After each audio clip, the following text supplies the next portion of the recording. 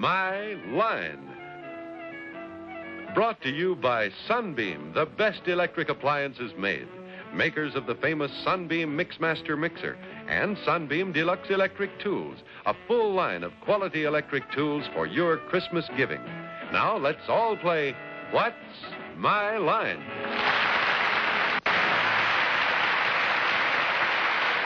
And now let's meet our award winning What's My Line panel. First, the delightful star of stage and television, Miss Arlene Francis.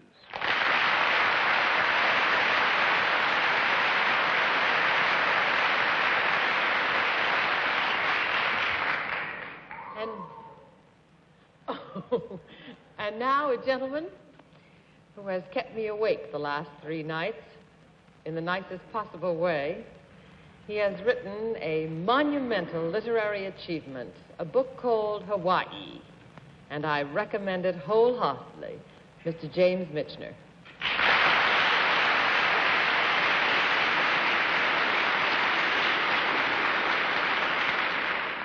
I should like to introduce that wise, witty, and wonderful writer, Miss Dorothy Kilgallen.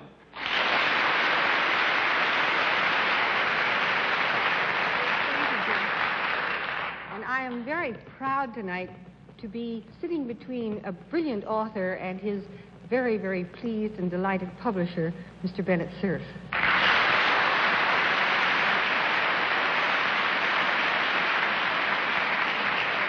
Well, you know, it's rather refreshing to have a publisher and his author on the same side for once, against a common enemy. Not, not a very usual thing, is it, Jeff? No. Maybe it's an uncommon enemy, and here he is, John Charles Daly.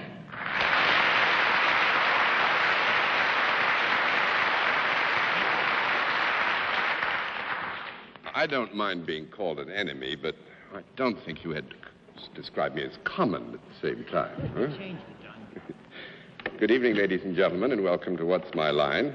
We have some very interesting people and some interesting occupations tonight, as witness the fact that the panel will now utter one joyous whoop when I tell them to be ready to put their blindfolds on immediately.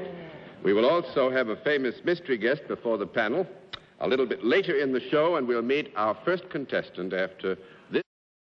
Right, panel, are the blindfolds all in place? Yeah, sir. Yes? In that event, uh, will our first challenger come in and sign in, please?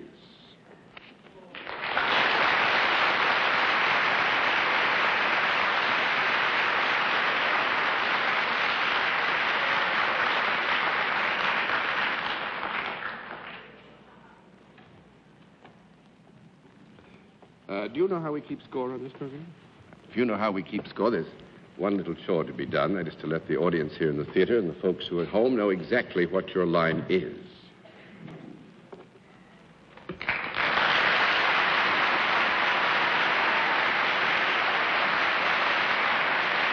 All right, panel, as does not need to be said, really, you know there is an area of identification which has required us to ask you to put your blindfolds on. It can cover almost uh, any area that would be helpful to you in terms of what you could see if you didn't have the blindfolds on.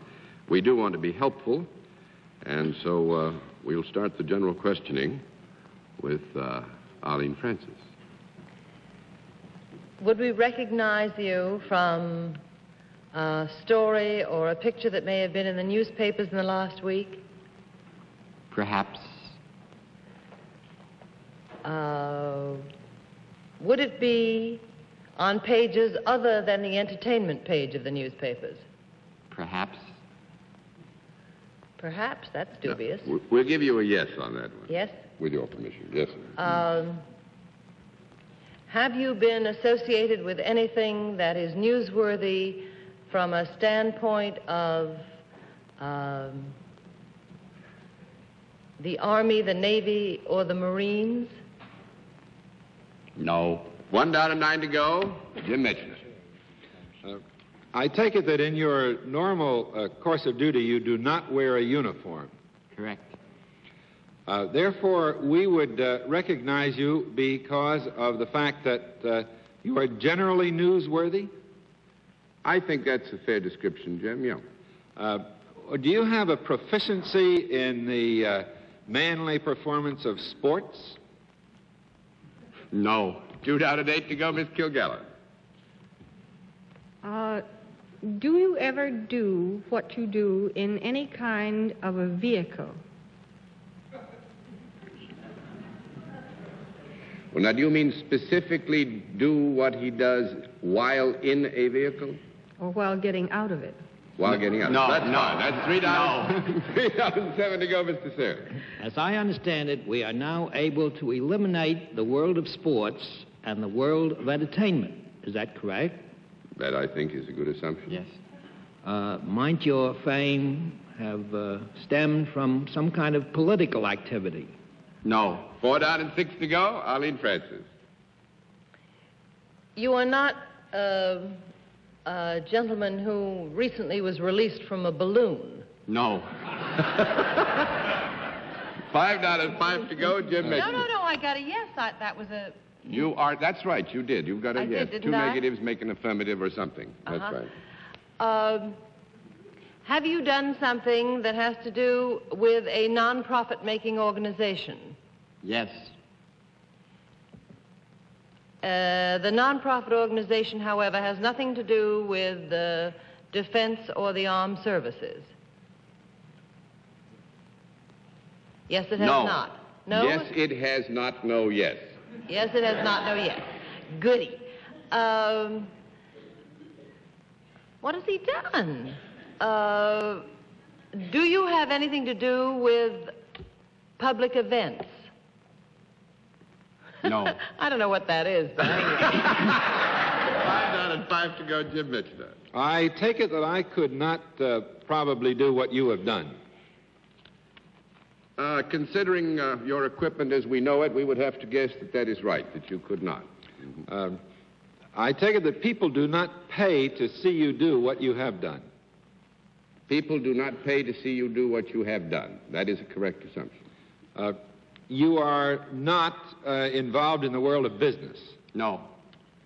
Um,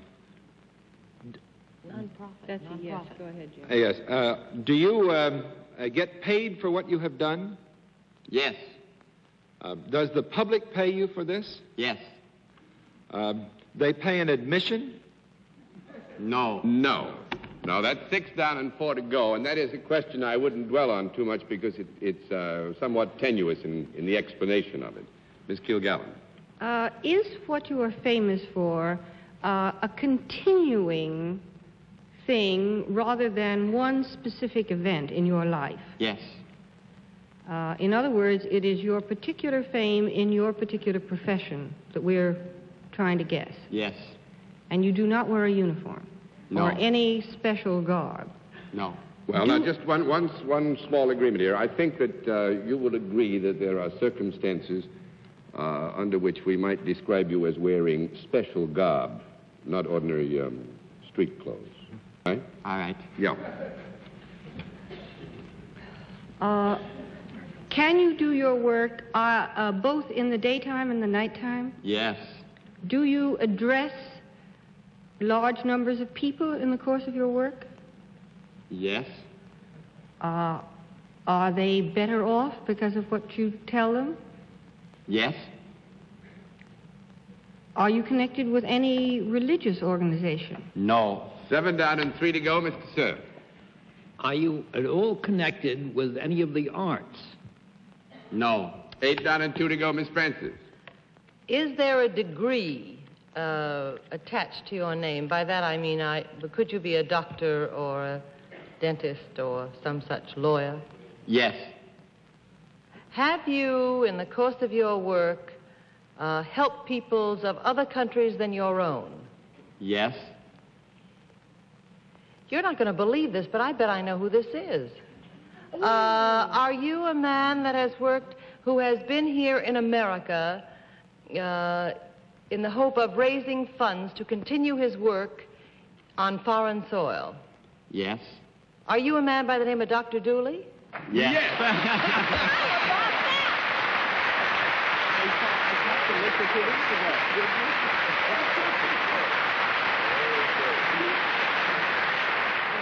I have read about you, I have seen you appear, and I think that the work you do is wonderfully important, and I'm delighted that I'm the one that got you. Thank you, Miss And I'd like to make that quite permanent.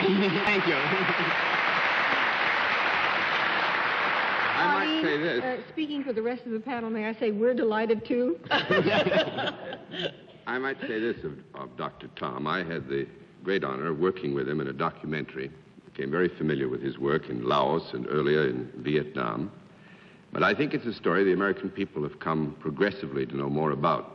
His personal story is, I think, as exciting and as splendid as his professional story because he was out in Muang Sing in northern Laos, 16 miles from the Chinese border, where they are currently having, as you know, uh, aggressions out of uh, northern Viet Minh into his old area. And he came up with a little thing called a melanoma, a cancer in the chest, malignant melanoma. He came home, had an operation. He's been very busy raising money to go back to Laos.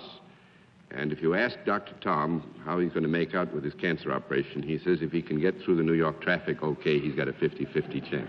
I'm going back in three weeks. I'm going back to Laos. You're going back to Laos in To three rest. weeks. Tom, I've got uh, a little surprise here that I hope pleas- pleasures you mightily. I serve with much pleasure as a member of the Damon Runyon Fund. And here's a check for $5,000 made out to Medico Incorporated. Thank you very much.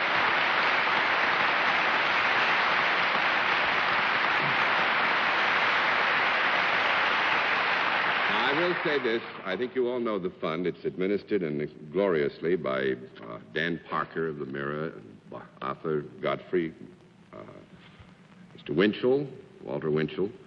It's given away something in excess of $13 million in grants since it was founded, but I don't think that any grant ever made has given as much pleasure as this one that goes to Dr. Tom Dooley tonight. Tom, anything else we can do to help you? Yes. Everybody listening can um, help it just like the Damon Runyon Fund did. And I just happen to have a few seconds that I'm allowed to give my address. If anybody listening, or if Miss Francis, Mr. Michener, Miss Kilgallen, and Mr. Cerf, who is not my publisher, would like to help, our address is simply Medico, Box 2, Times Square, New York. I repeat, Medico, Box 2, Times Square, New York. And thank you, Miss Francis, and thank you.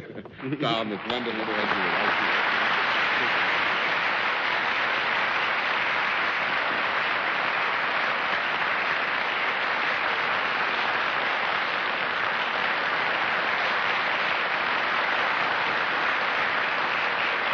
Actually, Tom is so determined to make Medico economically viable that those of us who know him well have come, got, come to call him Box Two now. We don't call him Dr. Dooley anymore. All right, panel, let's see what we can do with the second challenger. Would you come in and sign in, please?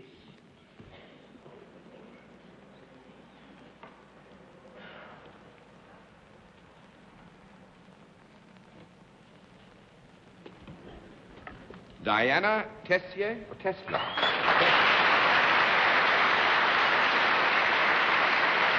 Is it Miss or Mrs.? Miss Tesla. Miss Tesla? That's. And where are you from? New York City. New York City. Miss Tesla, may I present panel? Panel, Miss Tesla, mm-hmm. would you join me over here, please? And do you know how we keep score? Yes, I do. All right, Miss Tesla, in that event, we'll let the audience here in the theater and the folks at home know exactly what your line is.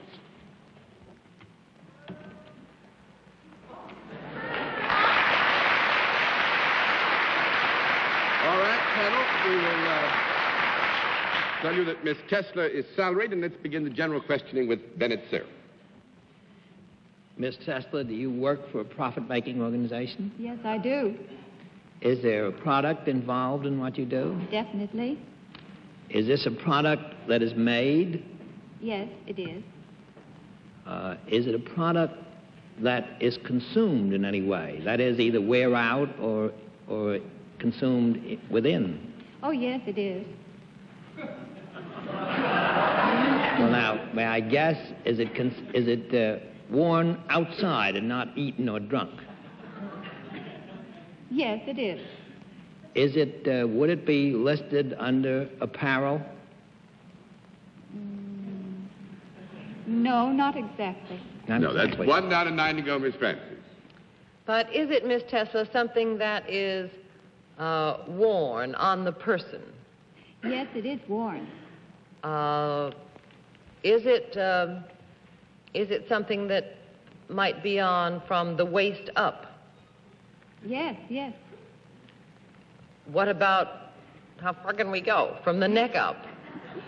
Um, yes. Something that might be seen by the naked, if I may use the expression, eye? At times, yes. Family program, Miss Francis.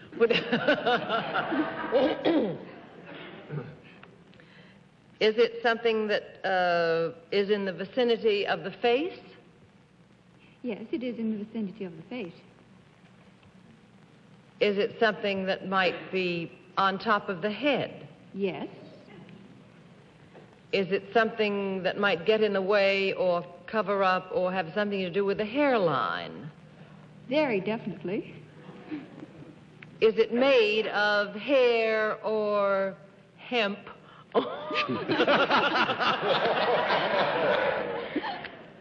yes?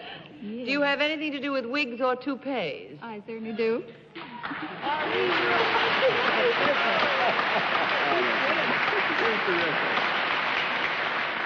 But what does Miss Tessler have to do with wigs and toupees? Well, one thing is sure, she hasn't got one her, on herself. I know that. Do you, uh, do you make them? Right. That does it. And you know, it's very funny you should hit hairlines because I believe Miss Tesla's company is Hairline Incorporated, isn't it? Hairline Incorporated. I was dying to have Bennett ask that question. Is this a product I could use? You know, I'd have Is this blown what? up. Is this what? I was going to dying to have you say, is this a product I could use? And I'd have had hysterics all over the stage. It's been wonderful. Well, thank you very much, Miss Tesla. I'm sorry we didn't uh, give the panel more puzzle, but it was a very interesting line of questioning. Ar- Arlene gets one more thing tonight. She'll be in Washington tomorrow at 10 o'clock. Thank you very much. Nice to have you on What's My Line. You say good night to the panel.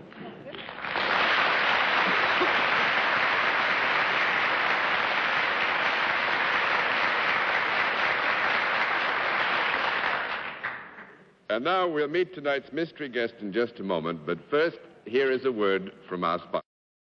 And now we come to the special feature of our program, the appearance of our mystery celebrity, for which my friends on the panel must once again blown, blind, bl- uh, mm, cover their eyes. Uh, are the blindfolds all in place, panel? Yes, sir. Good. Will you come in, mystery challenger, and sign in, please?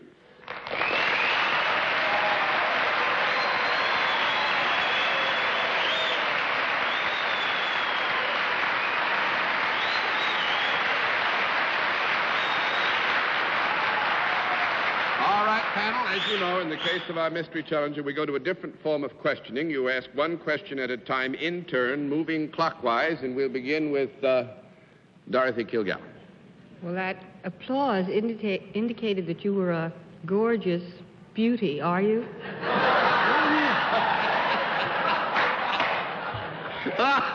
One down and nine to go, Mr. Cerf. Uh, I take it from that raucous laughter that you are the male persuasion. Is that correct? Oh, yes, I think so. Miss Francis? Are you an actor in pictures? Oh, uh, that's what uh, uh, income tax books say. Mr. Michener? What is that, a yes or a no? Yes. Oh, yeah. Anything that has to do with the income taxes, yes. Do you have a picture that's currently playing in New York? No. No, I don't think so. Two down, eight to go, Miss Kilgallen. Have I seen you in the flesh within the last week? Oh, uh, uh, I don't know where you are at. Well, that may be said of everybody on this show at one time or another. Uh, I think, Dorothy, since there is a basic area of indecision here, I'll give you a no. Well, uh, uh, I will. Uh, it's not the person I thought because I think that uh, if he had seen me, or if I'd seen him, he would He'd have known it. So it's it's a no. All right, that's three down and seven to go, Mr. Cerf. Uh, besides yourself, is there any other member of your family who is well known in the entertainment business? No. That's four down and six to go, Miss Francis. Do you appear on television? Yes. Mr. Michener? Uh, are you well known as a singer? No. Five down and five to go, Miss Kilgallen. Now, our guest has said, just for purposes of clarification, John, that he is not in a current picture. He is not currently, uh, not in a picture currently being seen on Broadway in the main picture houses in New York.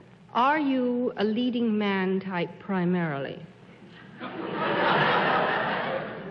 no. Six out of four to go, Mr. Cerf. You know, I do usually play reasonably elderly roles. Yes. Yes, that's right, Miss Francis. Are you a character man in a television serial? Oh, what the hell, you know? Yes. What? Mr. Michener? I don't know what the answer was. Yes. Oh, yes. Uh, does this uh, serial have a lot of horses in it? Uh, no. No, no. Seven down, three to go, Miss Kilgallen. They all do. Good night. Well, now this, you know, there's a horse in everything these days. Do you wear a beard in real life? No. Eight down and two to go, Mr. Cerf. Uh, in the programs that you play in in television, is there any music in the programs? Oh, no. Nine down, one to go, Miss Francis. We're almost finished. Get it, Arlene. Uh, I can't. Uh, are you in a uh, in a family series? Oh, yes. I wish you hadn't said yes. I don't know what I'm talking about. Mr. Michener. Family series. In the family series, uh, one of the Nelsons. Did you say Ricky Nelson, Jim Michener? Is that what you meant? I said one of the Nelsons. Well, you're wrong. that makes it ten down and no more to go. And uh, Mr. Walter Brennan would be very happy to have you all remove your, your mask. The last time I was a lady on this show, I could have had a woman's voice. You know, really, Jim, Walter came here with the best Chinese accent we've had on What's My Line in nine and a half years, just for you. I thought Not he the was Chinese, Japanese, Mr. Oh, Michener. Oh, Japanese. Oh, for Japanese. Well, he don't... Honolulu, 1952. Honolulu, big time. I met you in Honolulu in Good time we had out there. Mm-hmm. Why didn't you remember, Jim? I You do think now. Mr. Michener, do you think it's fair to lay such enigmatic remarks as big time we had out there? Just let it there? hey? So we sat along the beach with our feet higher than our heads for about three days, and I reviewed almost all the parts Mr. Brennan had been in, one of my favorite actors, and he astonished me by telling me about the parts he hadn't been in and how tough it was to lose them. Well, well, the family series, I, by the way, I don't think it needs identification because it's, uh, and I bet it makes you pleasant, pleasant, pleasantly happy because it's one of the most popular shows in television. The Real McCoys. Here's Mr. McCoy. It's a great, great scene. That I remember about. He tells, says to a cop, "I got a license from somewhere Yeah, else." West He's in Virginia. California. Yeah. I got my West Virginia license. What do you need else? You see one of them, you see them all. You see one of them, you see them all. Yes, Dorothy. Uh, wish to say Japanese accent so good, American woman panelist thought he read buttons. What the, what please? Said she thought you'd lost your button. Oh, I thought you What? I thought you were saying, I thought she was a red butterer. Walter, thank you very Thank much you, for joining us. It's awfully good to have you It's with always us nice again. to see you again, Mr. Daly. And Thank you very much. Would you say good night to Connie?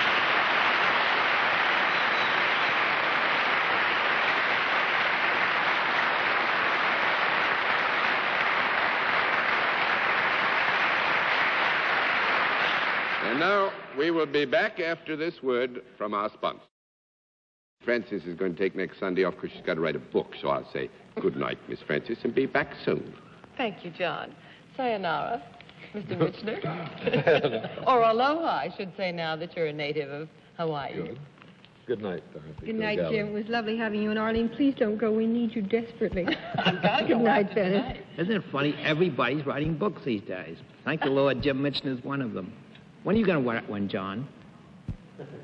You've never asked me, Bennett. Good night, ladies and gentlemen, and thanks for being with us on What's My Line.